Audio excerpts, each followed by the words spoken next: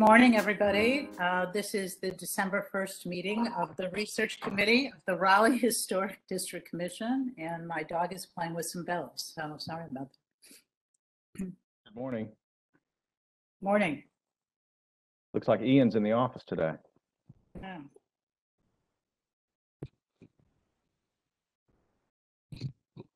Okay. So this, um, we should get started because I know Tanya has to jump off. And then if David doesn't join us, which I hope he will, I invited him, um, then I will forward to everybody. So we do have someone who has joined us by phone. Um, I can Okay. unmute and we'll figure out who that is. Okay. Our call-in user, I'm going to unmute you. All right, can you hear me? It's me. Oh, It's Tanya. hi. I I think I might be in two ways, but um Yes. I'm mobile right now, so I just decided to call in. I'm sorry for the confusion. Eh, No problem at all. Um, can you mute yourself as a call-in user? Yep, yeah. Okay, I'm gonna be so muted I'll let right now. you take control of yourself and um, if there's anything you want to add, feel free. Okay. I'll probably just be quiet and then I'll just kind of disappear soon. okay, Thank you. thanks. All right. Um, so on our agenda, we- it's very light today. Um, we just have general updates for our current ongoing um, research activities, um, which uh, leader Tanya, Tanya with an A, um, if you want to update us on, I guess we can do both at once, both the African American and the LGBTQIA statement. Sure. Um, for the LGBTQIA plus historic context statement, the, um, the online survey, um, just closed. And we are taking that information plus all of the, um, other information that we've received via email over this last month. Um, Erin has been, um, doing the, uh, the, the workhorse job of getting it all put into a spreadsheet that um, we will be sharing with um, Free Harris, um, our consultant, and he will start pulling it together. Um, and uh, that's really where we are. The the next um, uh, really the next thing sort of interesting thing that may happen will be the um, well he'll start talking um, you know reaching out to some of the people that provided information to ask any questions but then we'll um, develop a list of interviewees and they will be done in sort of a, a webex or a teams environment like this and so it gets recorded um, both uh, from an audio standpoint and visually and that's really where we are on that one. Of the behind the scenes research work. And for the um, African American Historic Resources um, uh, Architectural Inventory, um, that will be kicking off um, in a, well, publicly kicking off at the first of the year after the after the holidays, but um, the contract um, should be executed by the end of the by the end of the month and then the consultant will start on you know some of the background research and pulling together what work has already been done. Um, the team met um, we met with um, the planning and development uh, communications uh, manager yesterday no monday. Monday and um, they are going to be drafting a um, a plan uh, of of ideas of what to do um, or a sequence of what to do for the communications of the pro- of, of that project. And um, we anticipate we'll be doing a similar online survey like we did for the LGBTQIA plus, you know, a place where people can drop things on the map, um, as well as put information, um, you know, in words, and of course, they can always email staff. Um, since we will also, in addition, so the within the broader, you know, city, um, as a reminder, we're looking at civil rights history, um, uh, churches, um, entertainment venues, and um, properties um, built by African American architects or developers, and from the 1945 to 1975 time time frame. Um, so for that, we will probably have um, flyers. I mean, we'll do social media pushes, but we'll probably have flyers that will be created to put up in the various community centers as well as libraries where people, you know, might be going and, and hear about the project.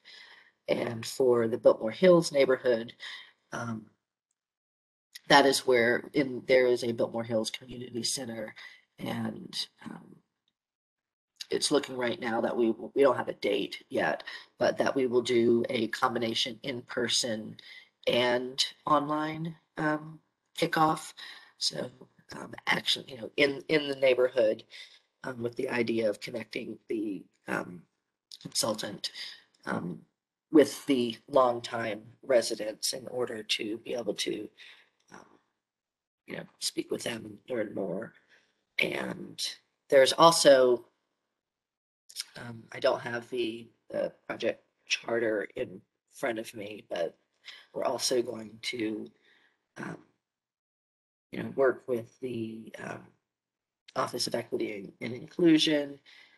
Um, we also have the, there's a, um, Office of Minority and Women-Owned Businesses, I think is what it's called. Um, and, and then, anyway, what, once that is a little bit more coalesced, like, uh, we'll, we'll have something, we should have something for you at the January meeting. And, um, there will also, within the contract, there is a, there will be very specified sort of, um, deadlines for when, you know, certain parts of the project products are brought in. And so over the course of the next year, each month, we will have um, something for the research committee to look at.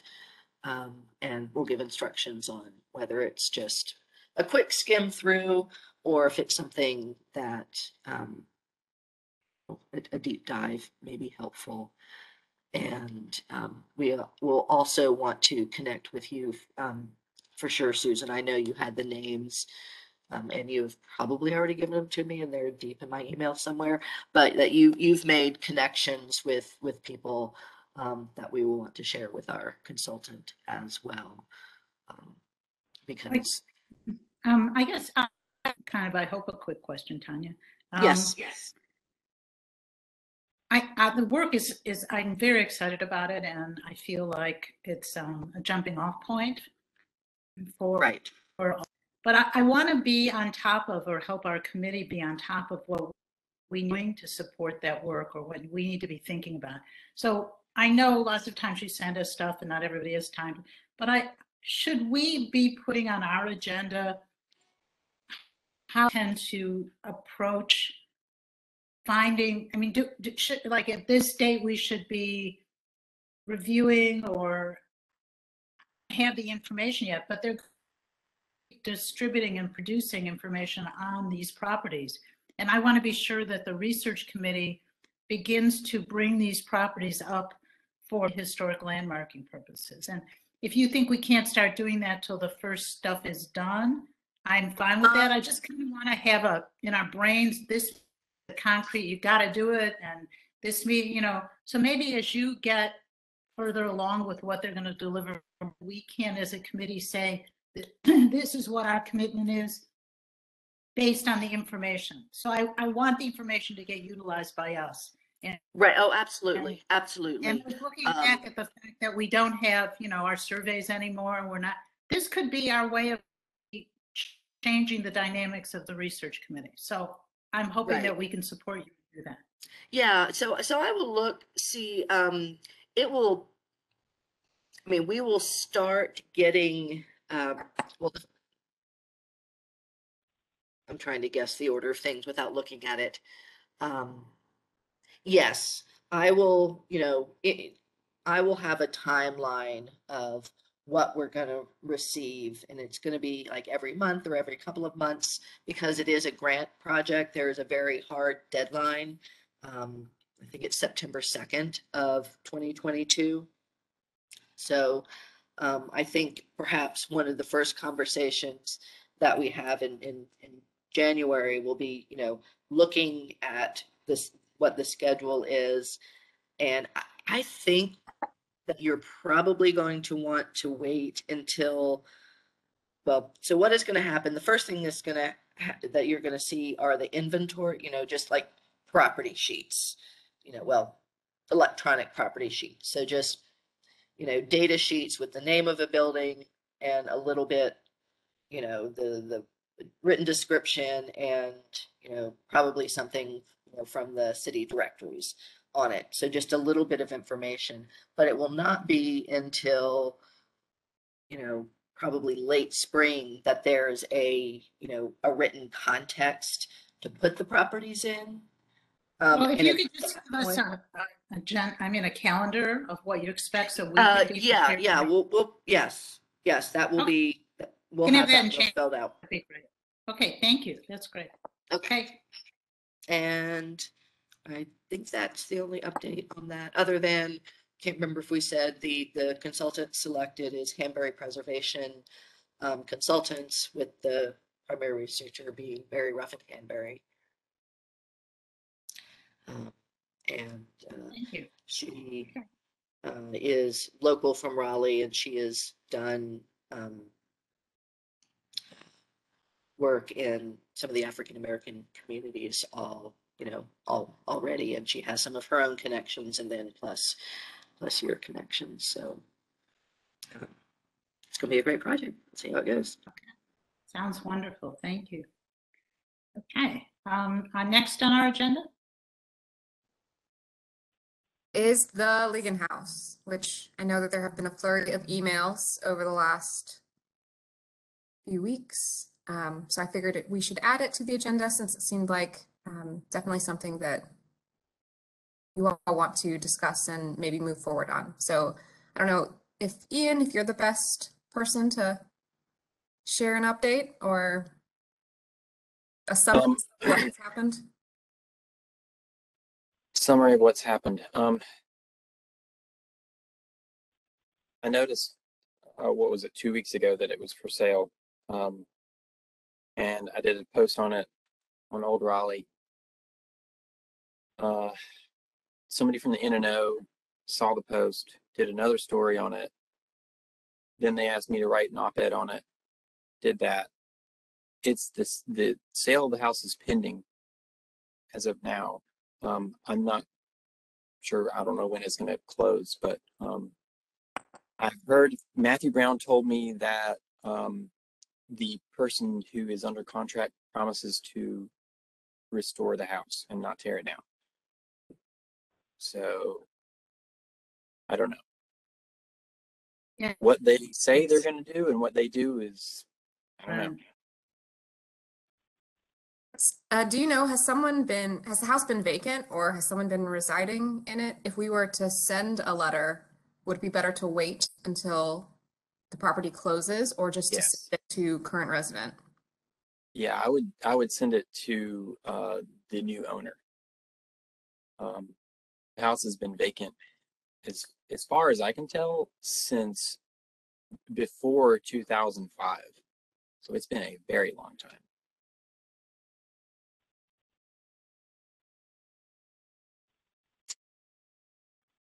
Yeah, I've got the fingers same crossed it gets information from Matthew. I. I sent him a note, so, Yeah. um, know that people are paying attention. I agree with you.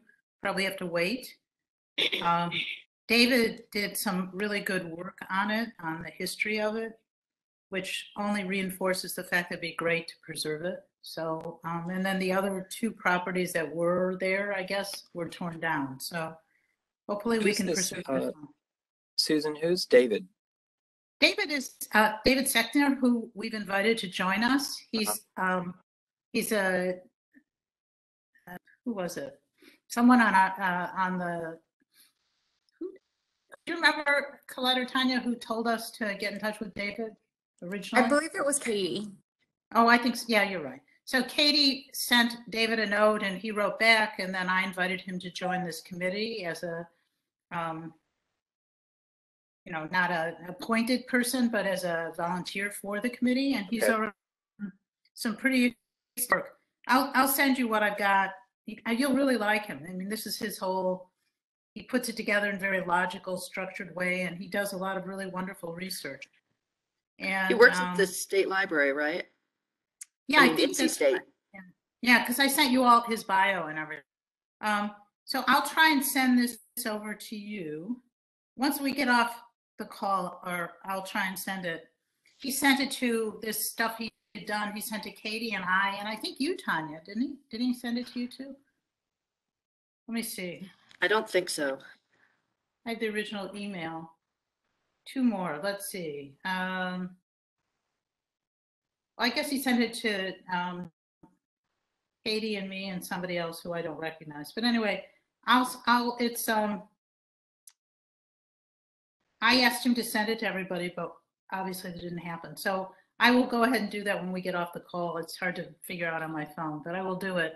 And then I think he pressed to research on zoning and the properties that are being rezoned in Raleigh, and then research on the Ligon House. And um, both I thought were very applicable to what we do and who we are. And um, hopefully he'll be joining us on these calls. I sent him the um, instructions uh, when Kala sent them to me, but I haven't heard from him, so maybe he's just tied up. But he's someone who should definitely um, at some point to join this committee officially because he really cares and is doing some great work. So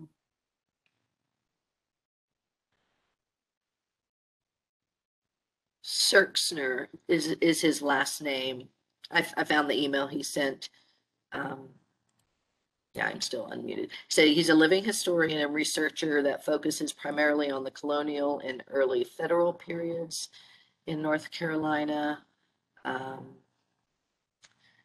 uh, he created, the, he's the secretary treasurer for the newly formed um, Alston House Associates for the House in the Horseshoe State Historic Site. And um, he's been employed, yeah, by the NC State Library since ninety-seven. And um, he's transcribing Alston's um, governor's letter books for the NC archive. Oh, the life of David Stone, fifteenth governor of North Carolina, and he's um, doing some transcriptions of that book. So where'd you go? There it is. that's So great. that, that's him. And then I'll send you the recent research that he's done. I'll send it to everyone on the committee. I didn't want to intervene and I thought he should send it, but I think Ian, you'll really appreciate it. So we'll send it. Okay. So, so I just, think Just to wait. Uh, I mean, that's a wait and see kind of thing, right? so I have a Would you not- suggestion for the, the letter when it gets sent that I would, um, I mean, I would include, you know, the little whatever blurb that we have written up on the house or maybe, um, you know, uh, Ian's op-ed or, or something. So rather than just the standard letter include, and this is why we think the building's important to go along with it to hopefully, um, help pique the owner's interest. It's a great idea. So when it closes, I think Ian's op-ed would be wonderful to send. Um, I don't think, I mean, Matthew's been in touch with him. We can, I can reach out to Matthew again once it closes and see where we're at too. Did he give you any uh, details on the, this person? None. What He did- just said to me he had been in touch and they were gonna stick with it. And, I- you know, and I said I get back to him and bug him more, which I'm sure he expects, so.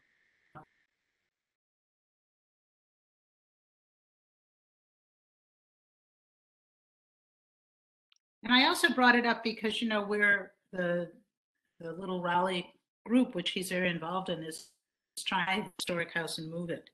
Which I brought up Tanya, I guess he, he spoke with you about it, or they spoke with you about it, or um, uh, uh, Chris Crew spoke with you about a house that the SPHO was trying to purchase and move to a property that the city owns.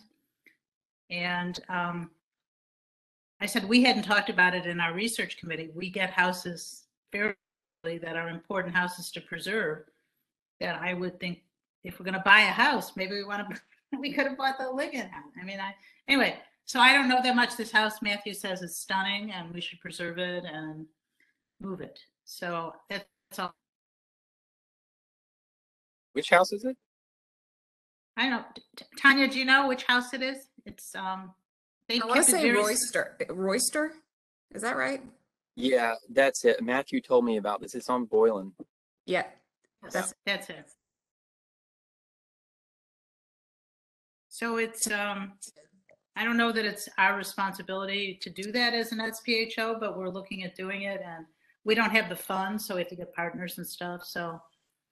I mean, I think there are Yeah. probably other organizations like this one here in Oakwood that are designed to help preserve historic places and maybe we can get them involved. You know, Ligon Yes. would have been a great place for us to look at, I think, but. SPHO has, um, has done it before, has purchased a house and moved it and, and then sold it. There's one on Linden in the one hundred block of Linden, and that was Mhm. done like early two thousands, um, shortly before I got here.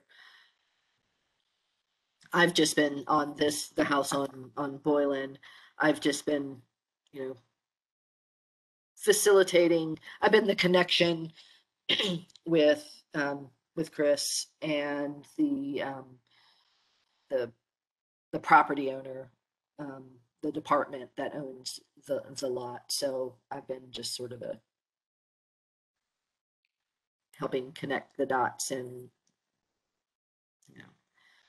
Yeah, I, I think it's, a. I mean, it's really interesting. It's just outside our price range because the city is certainly, properties have, homes have gone up. Um, I just wish that, you know, we would work closer um, with the SPHO so that when we're, and it happens that I'm doing both, so I hear both, but I just like, okay, you- I, I sit and listen in these meetings and there's lots of interesting properties that I think would be unique for us to purchase and preserve if we're going to do something like that. But this SPHO area and it's getting moved outside the SPHO area.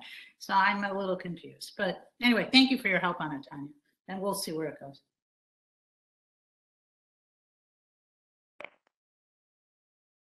Okay, next. Anything else on that? All right, I'll send everybody the stuff David's done on the Ligon House and what else is on our agenda, Colette, or is, or is that 809? Is this a new record? That was it. Okay. All right. Anybody have anything else they want to bring up? We all had too much turkey and we're still in a turkey fog. Okay. Sounds good.